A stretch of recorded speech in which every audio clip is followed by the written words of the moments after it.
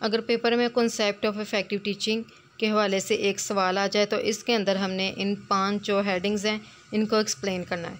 यहाँ पर हमने इफ़ेक्टिव टीचिंग मयर्स को देखना है कि इफ़ेक्टिव टीचिंग मयर्स कौन कौन से हैं।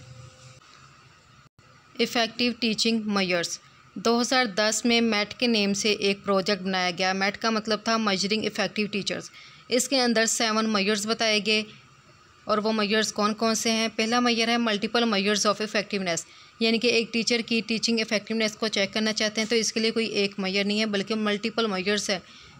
सेकेंड मैयर है यहाँ पर एकोरेट टीचर एवेलुएशन यानी कि टीचर की एवेलुएशन भी एकोरेट होनी चाहिए मोर मीनिंगफुल टेन्योर टेन्योर का मतलब है दौर। तो जब टीचर की टीचिंग इफ़ेक्टिव होगी तो उससे उसका जो दौर है, वो भी मीनिंगफुल होगा डिफ्रेंशिएटेड पे बेस्ड ऑन इफ़ेक्टिवनेस यानी कि जो टीचर अच्छे से पढ़ाता है, उसकी जो पे होगी, वो भी ज़्यादा होगी, और जो अच्छे से नहीं पढ़ाता है, उसकी पे भी कम होगी. इसके अलावा जो साइंस के टीचर्स होते हैं, अक्सर इनकी जो पे है, वो ज़्यादा होती है. स्ट्रेटजिक प्लेसमेंट ऑफ़ टीचर यानी कि टीचर जो है, उसकी हमने प्लेसमेंट करनी है। तो वो एक मनसूबाबंदी के तहत होनी चाहिए। जैसे कि हम लोगों को पता होना चाहिए कि फ़िज़िक्स के कितने टीचर्स की ज़रूरत है। तो इसके लिए हमने जो मुख्तलिफ़ स्टूडेंट्स वगैरह देखे हैं कि स्टूडेंट का कितना नंबर है। यानी कि अगर स्टूडेंट ज़्यादा हैं, इसका मतलब है कि हमें फ़िज़िक्स के टीचर्स की ज़्यादा ज़रूरत है। तो टीचर की जो प्लेसमेंट है, वो एक प्लान के तहत होनी चाहिए। ये नहीं कि बायो का टीचर जो है, ये फ़िज़िक्स वालों को पढ़ा रहा हो।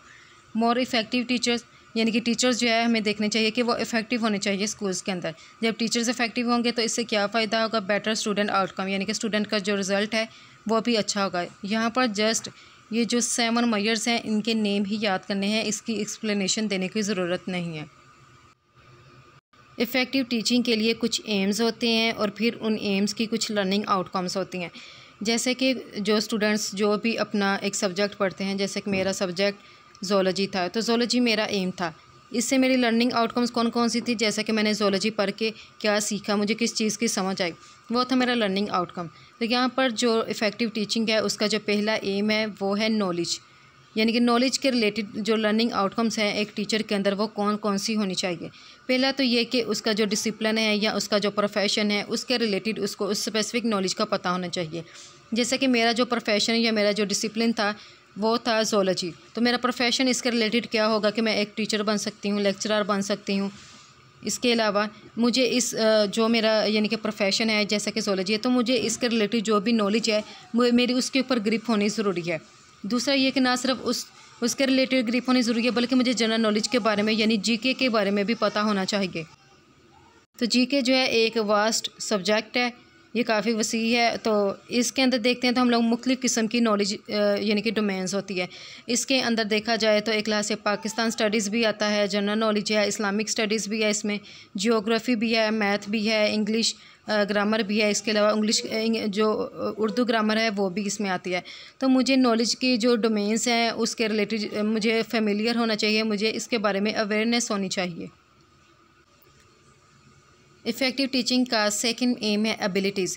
यानी कि एक जो टीचर है, उसके पास ये एबिलिटी होती है कि वो आइडेंटिफाई कर सकता है कि उसको किस किस्म की मालूम की ज़रूरत है और उसने इन मालूम को कहाँ से फाइंड आउट करना है। फिर ये कि जितना भी उसने नॉलेज इकट्ठा किया है, उसको इस्तेमाल करते हुए वो स्टूडेंट्स के प्रॉब्लम को किस तरह से सॉल्व कर सकता है।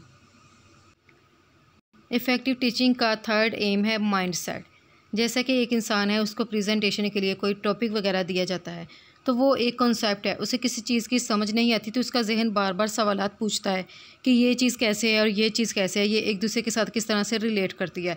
यानी कि माइंडसेट का मतलब है कि हमारा जो जहन है, हमारा जो दिमाग है, ये बार बार सवाल पूछता है। किस चीज़ के बारे में सवाल पूछता है, जो उसको पता ही नहीं होता। यानी कि जो भी उसने एक कॉन्सेप्ट पढ़ा है, उसके रिलेटेड जिस चीज़ के बारे में वो नहीं जानता, उसका जो दिमाग है, वो उससे सवाल पूछता है। और वो इंसान अपने उस कॉन्सेप्ट को, अपने उस आइडियाज़ को सपोर्ट करने के लिए मुख्तु किस्म के सवाल को पूछता है और इस तरह उस सवाल से उसको हेल्प मिलती है और उसका जो कॉन्सेप्ट है वो क्लियर हो जाता है। यानी कि एक टीचर को ना सिर्फ़ अपने कॉन्सेप्ट क्लियर करने की ज़रूरत होती है, बल्कि जो स्टूडेंट्स हैं, जिनके कॉन्सेप्ट अभी तक क्लियर नहीं होते तो उनके भी कॉन्सेप्ट क्लियर करने की ज़रूरत है।